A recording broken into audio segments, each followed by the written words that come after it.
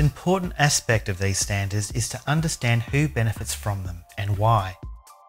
Your understanding and empathy of these user groups will assist you in designing and providing inclusive and more accessible built environments, prolonging the life of the premises and the materials used to construct it.